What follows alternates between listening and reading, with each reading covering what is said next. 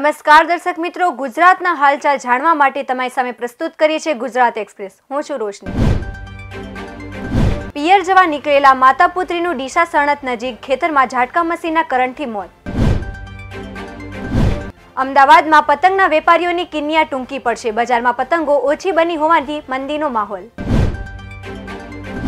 એક ગલીમાં આઠ લાશો. ક્યાંક બાળકો રડી રહ્યા છે તો ક્યાંક મા બાપ. પરિવારજનોએ કહ્યું, અમને બે લાખ નહીં, પરિવાર જોઈએ છે. કેન્દ્ર સરકારે નવા નિયમનો પરિપત્ર કર્યો જાહેર. જ્વેલર્સ દસ લાખથી વધુ હેરફેર કરે તો મની લોન્ડરિંગ ગણાશે. ઈડીના દરોડા પડશે. વડોદરામાં બુલેટ ટ્રેનનું સ્ટેશન બનાવવા જૂનો ટ્રેક અને પ્લેટફોર્મ તોડ્યા. આઈટીની કાર્યવાહી. સુરતના બિલ્ડર રાજેશ પોદારના લોકરમાંથી મળેલી આઠ પોઈન્ટ સડસઠ કેરેટની સવા કરોડની હીરાની વીટી સીઝ કરાઈ. મોડાસામાં એક અને ટિન્ટોઈમાં બે વ્યક્તિ કોરોનાગ્રસ્ત થયા. અરવલ્લીમાં બે દર્દીઓને ડિસ્ચાર્જ કરાયા. અરવલ્લીના એકસો ચાર ગામોને પિયત માટે હવે દિવસે પણ વીજળી મળશે. આજે બાયડમાં કિસાન સૂર્યોદય યોજનાનો પ્રારંભ કરાશે. મેઘરજમાં ચાર મીમી વરસાદ, માલપુર અને બાયડના ગાબટમાં માવઠું. મેઘરજ, માલપુર, પોસીના અને અંબાજી નજીક હદાદમાં વાવઠું. આગામી અડતાલીસ કલાકમાં ઉત્તર ગુજરાતમાં ઠંડી ત્રણ ડિગ્રી સુધી વધશે. વેક્સિનેશન માટે જિલ્લામાં આજે પાંચ સ્થળે dry run. Covid booth waiting room, observation room અને રસીકરણ માટે એમ ત્રણ રૂમ તૈયાર કરાશે.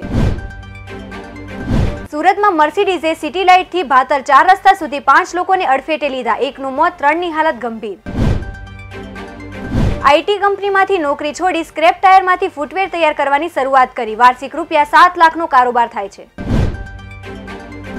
ગુજરાતમાં ચાલુ થયો corona vaccine dry run. Narmada જિલ્લામાં આજે કોરોના વેક્સિનનો ડ્રાય રન. રાજપીપળામાં ત્રણ સ્થળોએ રાખવામાં આવ્યું ડ્રાય રન. સરકારી hospital, urban health centre, Lacharas PHC સેન્ટરમાં ડ્રાય રન. આરોગ્ય અધિકારીની ટીમ હાજર, પોલીસ પણ બંદોબસ્ત.